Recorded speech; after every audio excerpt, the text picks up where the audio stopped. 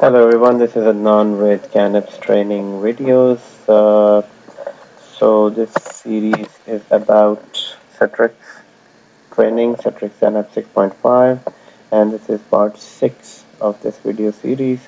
In this video series I'm gonna, in this video actually I'm gonna cover installing configuring site services, uh, service side for uh, from the web interface role. Now site service service side is used by enterprise client and uh, and by the legacy client uh, legacy PN agent which is a program neighborhood agent. Uh, we're gonna now the default path for PN agent is the CINetpub on the web interface server.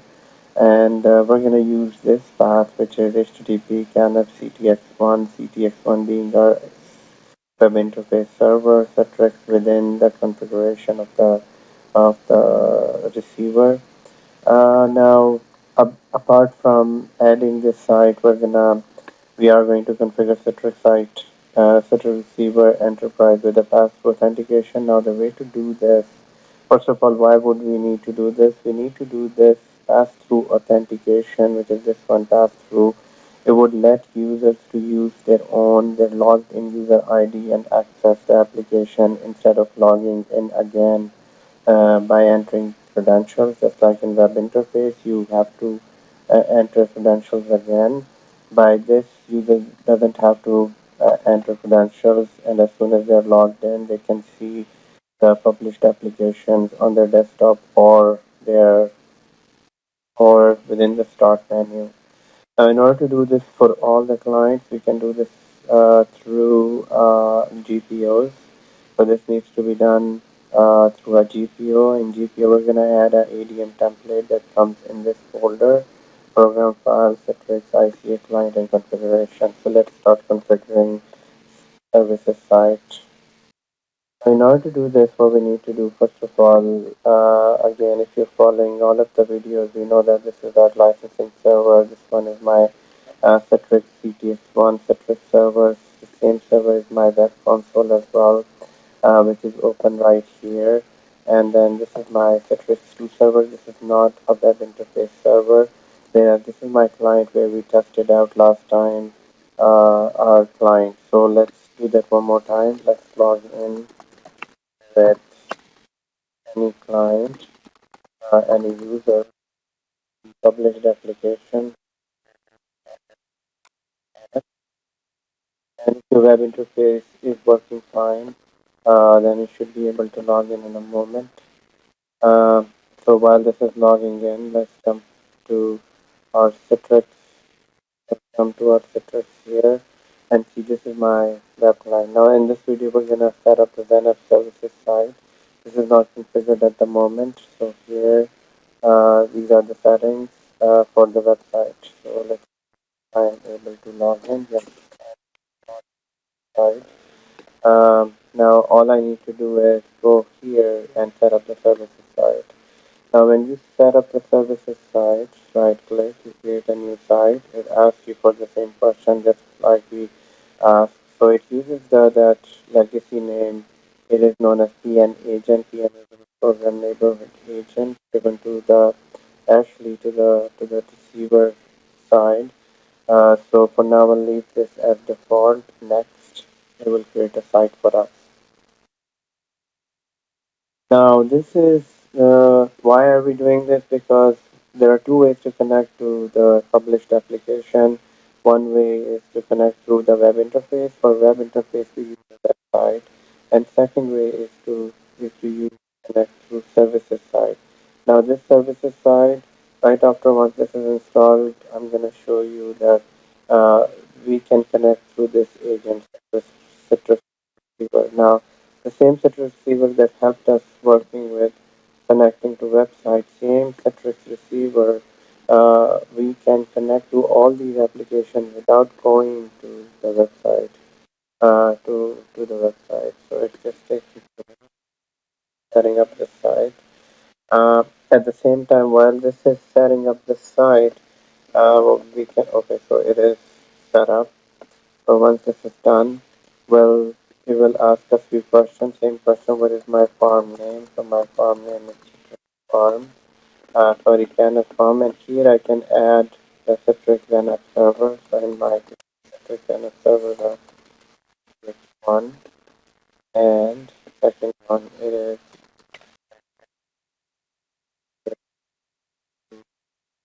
actually Canis CTX2. So CTX, yes, it is Canis CTX2 where we added both of them. And here, as just like last time, we added a port. So this port will be 88. Start working. For now, it is available to online, offline. This, this service will be available to dual mode, online clients or offline. It is it is available for both. So next and then finish. So now this is done, and this is this is actually the URL that we need to configure on the client side. So let me uh, take this URL. Uh, okay, so while before here, if I go here, I can see that uh, this is the URL ctx1 uh, and then citrix pn agent. This will be this is the same thing that we just saw here. So this is the link that we're gonna configure on. Uh, you can type this, you can copy this, however you want to do. I'm gonna copy this from here for now. Uh, let's so this is this is the site is created.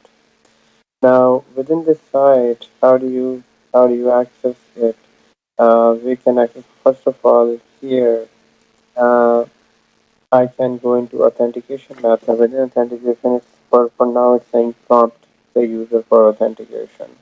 Now what we're gonna do, we're gonna select pass-through authentication. Pass-through authentication is uh, this is a default authentication, so we're gonna select pass-through authentication. We're gonna select OK.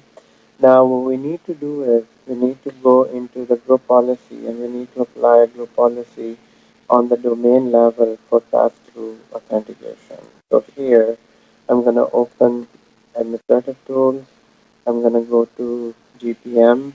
Now although this server is just a normal server, but since Citrix is installed, you would find a group policy management. So you open group policy management and as soon as you do, you expand and here the advantage here is that to access, you can access the group policy management from DC as well, but here we need to access it from here so that we can add the template. So right click on this domain and we are going to add a new Citrix template. As you can see, so first of all, create a GPO. So we'll just go create a GPO, create a GPO. And we're gonna call this, uh, we're gonna call this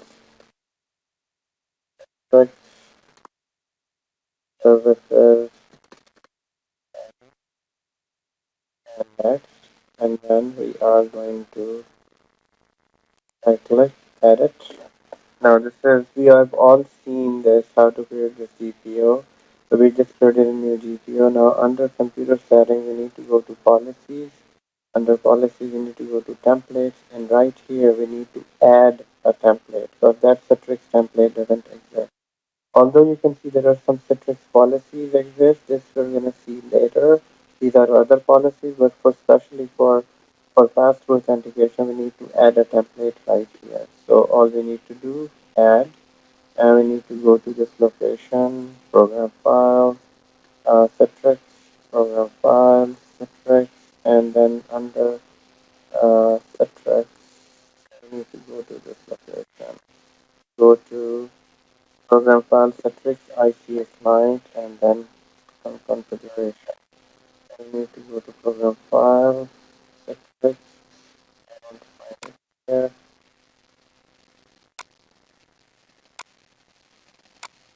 Okay, so it's in program file x86 folder. It's right here.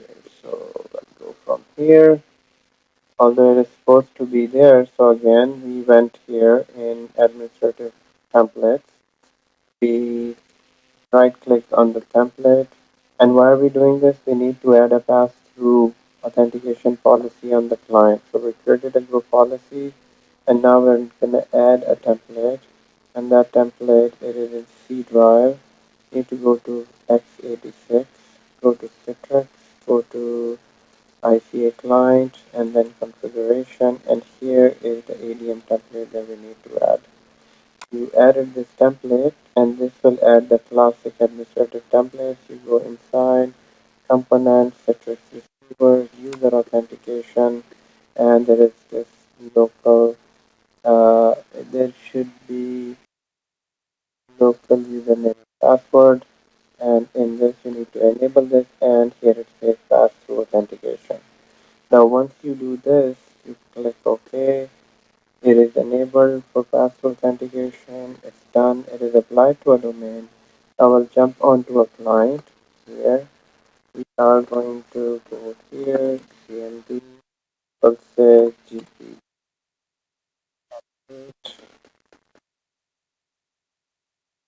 So GP update is updating that computer policy. Otherwise, we should have we could have just restarted this computer, and that could have applied computer policy. We can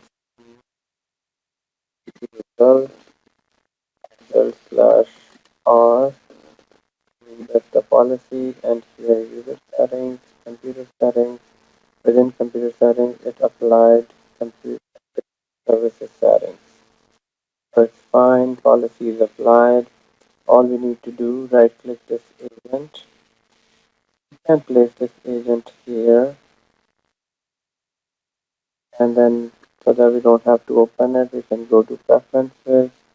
Here we can go to plugin. Uh, uh, connection. Here we can go to here. Change server. Here we need to put in this URL so the URL that we're going to need is exactly canf ctx1 canf and config file. Let's go here here and update. Once this is updated and we'll again go verify it one more time. Now in here there's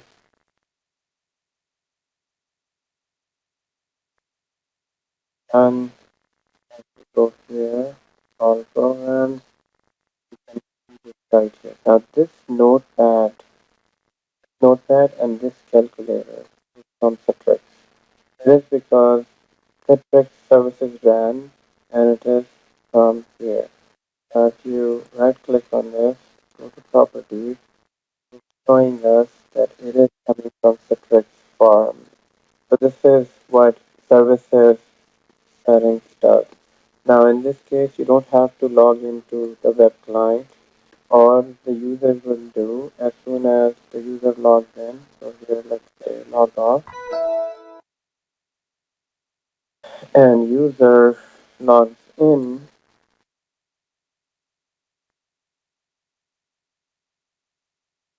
User login user doesn't have to open web interface the Citrix application whatever is published for this user they, they will be automatically available under start. So it's just logging in.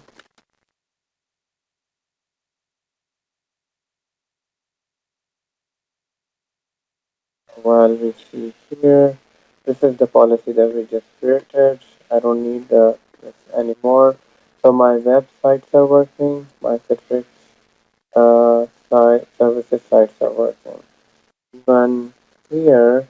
If I have a receiver I can go down here preferences plugin and this is no active sessions. Here we can go and add the URL is already added here. It's fine and in here I also have now they're not here what we can do is and right click here go to this right click here log on it's on this policy is not run yet it's not passed through this is just prompt so this is what happens when pass-through authentication and not So on this that policy is not yet applied. If I do uh, if I do GP result then it can run. So let's check this out first. On client, the client just have to go here and they can just click on notepad and now this actually this application is opening right from Citrix. So guys this is the main advantage of using services settings. Now we know two way of accessing these uh, clients. One way is through web services, uh, web interface. The second way is through services client. So we have successfully configured both of the services and the specific receiver. Thank you for watching this video and I will see you in the next